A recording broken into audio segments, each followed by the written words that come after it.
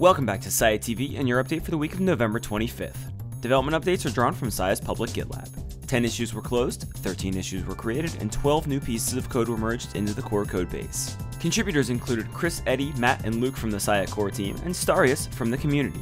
Luke made progress on the new RPC protocol that hosts and renters use, which results in faster communications and an overall higher data throughput for the hosts.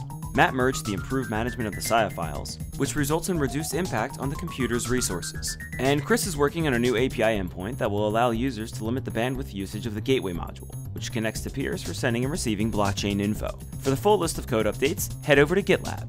We also published the community update for November. It includes a rundown of development for the month, a brief follow up on the network hard fork, and the key to our private leaderboard for the Advent of Code. Advent of Code is a collection of small programming puzzles for a variety of skill sets. It runs through Christmas, so if you're interested in participating, join our private Sia leaderboard. Details are in the description. Thanks for watching, and we'll see you next week.